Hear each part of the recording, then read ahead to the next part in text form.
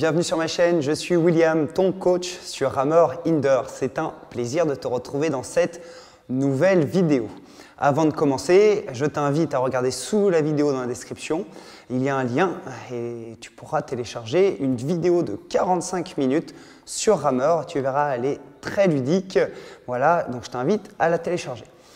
Aujourd'hui, le thème de la vidéo, ça va être euh, comment travailler le point d'appui. Dans la vidéo précédente, nous avions vu qu'est-ce qui était un point d'appui et qu'est-ce qui le rendait aussi efficace. Quels étaient les critères d'un point d'appui efficace comment, comment le créer bah Là, on va voir comment on peut le travailler. Voilà, sur une, une séance un peu ludique avec quelques exercices éducatifs. On va commencer dans un premier temps en mettant le volet à 10 et on va faire en fait du travail de, contraste de charge un petit peu.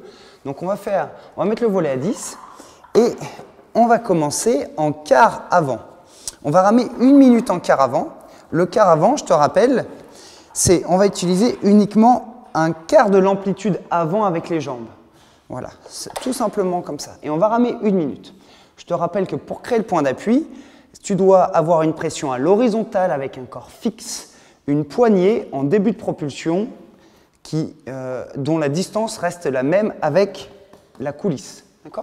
Donc on part pour une minute de quart avant à voler 10 pour cette fois-ci bien sentir la résistance. Et tout à l'heure, on passera à voler normal 5-6. Donc c'est parti. Donc quart avant, juste un petit quart des jambes. Donc tu vois bien, repère bien la position. Donc je viens grouper un maximum mes fesses au talon ici. Le corps ne bouge pas, il doit rester fixe sur tout le début de phase de propulsion. Voilà, et tu dois bien sentir ton point d'appui au bout de la roue. D'accord? C'est vraiment dans la roue que tu sens le point d'appui. Tu dois avoir une transmission qui doit s'exécuter donc de la roue, chaîne, dans la poignée, les doigts, le tronc qui fait transmission jusqu'à la barre de pied. Et le point d'appui se crée bien par les jambes, tu vois Ce qui bouge là, on est d'accord que c'est bien les jambes qui bougent. mon point d'appui à l'horizontale, le corps reste fixe. Voilà, il nous reste 10 secondes environ sur cet exercice. Tu vas sentir ici, ça travaille énormément les ischio-jambiers. Hein. Je travaille les ischio-jambiers sur la flexion de jambe. Et ensuite, on passe en demi-avant. Donc demi-avant, c'est je tends la moitié de mes jambes.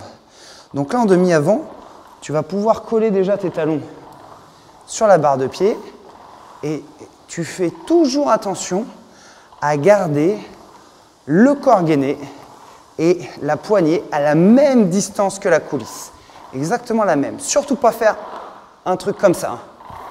D'accord? La poignée doit vraiment bouger en même temps que la coulisse. Donc là, sur le demi-avant. il reste 30 secondes de demi-avant.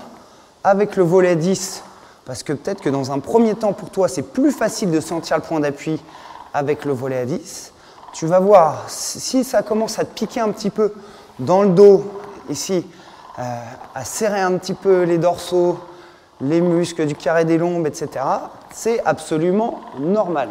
T'en fais pas, c'est aussi un bel exercice de gainage que tu réalises. Ensuite, on va ramer en jambes-sol. Donc là, que les jambes, donc entièrement les jambes. Et tu vois bien que ma poignée reste toujours à la même distance que la coulisse. Toujours. Donc je crée le point d'appui bien par les jambes. Le corps reste gainé. La poignée reste bien à l'horizontale. Je travaille toujours à l'horizontale. Avec le volet à 10, normalement, tu dois bien sentir le point d'appui. Dans la vidéo précédente, je t'expliquais qu'il n'était pas nécessaire de mettre le volet à 10 pour sentir le point d'appui, mais ça peut être un moyen pédagogique pour toi bah, de le sentir euh, plus facilement. Voilà. Voilà. Ensuite, là, dans 5 secondes, on reprend jambe-dos, donc jambe avec le dos. Et là, je veux que tu fasses attention sur ce transfert de point d'appui, c'est-à-dire qu'au début, tu es sur un appui de jambe, puis après, tu vas ouvrir tes épaules, les amener en arrière du bassin, mais attention, c'est pas ça. La poignée va pas vers le ciel. la poignée travaille toujours à l'horizontale. Donc mon point d'appui se crée par les jambes, hop, et je le transfère à la fin avec la bascule du corps, mais bien à l'horizon. Dissocie impérativement ces deux mouvements. C'est pas parce que tu vas en arrière qu'il faut lever les mains. Donc tu dois bien dissocier ce mouvement-ci de ce mouvement-là. Bien à l'horizontale. Ça, c'est le mouvement correct.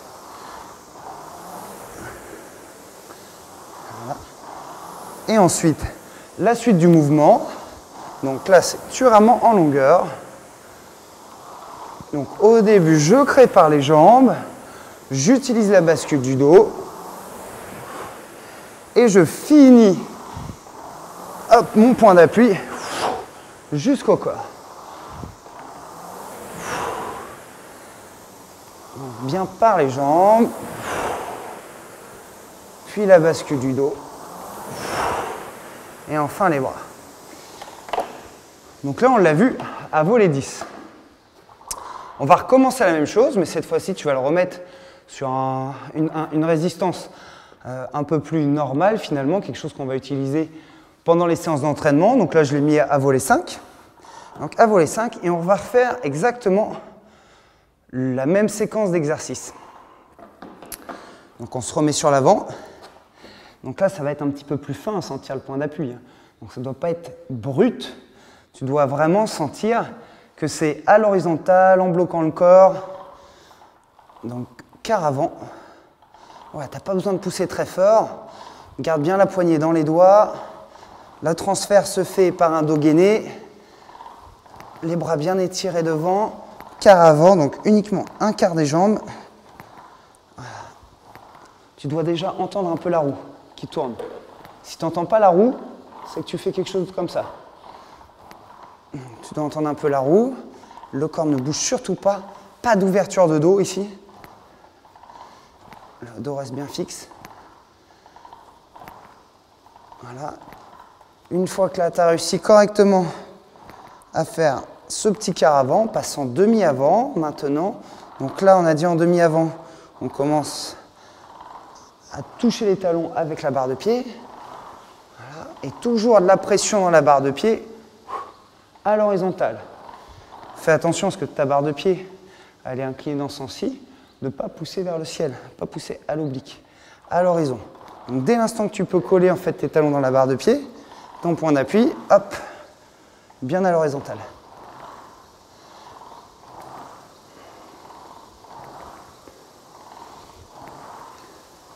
Écoute la roue.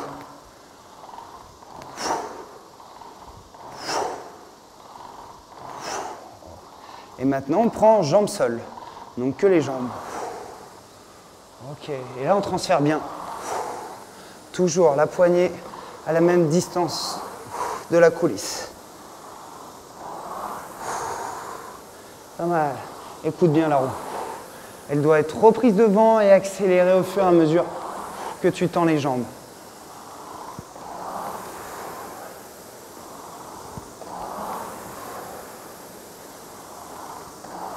Ah, t'as pas besoin de te crisper hein. sur la poignée, c'est par les jambes qu'on crée l'appui. Tous ceux qui vont faire ça, ça sert à rien du tout.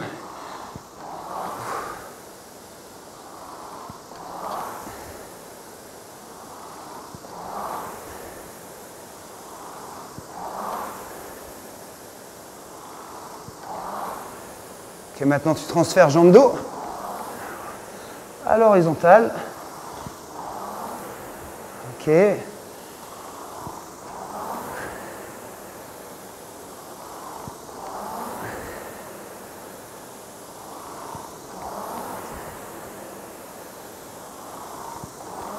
ensuite, on peut faire jambes de bras.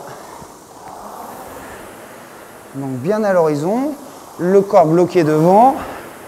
Tu imagines que tu pars en quart avant. Et en fait, après, tu déroules de manière fluide tout le geste.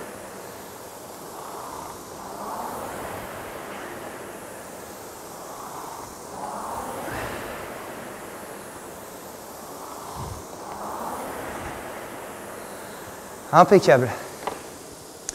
J'espère que tu auras bien compris dans cette vidéo comment tu pouvais travailler ton point d'appui avec les différents exercices que je t'ai proposés et avec, notamment avec le volet. Si tu n'arrives pas à bien le sentir au début, tu peux mettre le volet à 10 pour pallier un petit peu les faiblesses techniques. Et une fois que tu te sens bien, tu remets ton volet normal, voilà, et tu essayes d'avoir à nouveau la même sensation de point d'appui et de déplacement à l'horizontale sur un dos tenu, d'accord, et une transmission bien par les jambes. Voilà, j'espère que cette vidéo t'aura apporté tous les conseils dont tu as besoin. Si tu as des questions, n'hésite pas à me laisser un message dans les commentaires, j'y répondrai bien volontiers. Je te dis à très vite dans une prochaine vidéo. Allez, ciao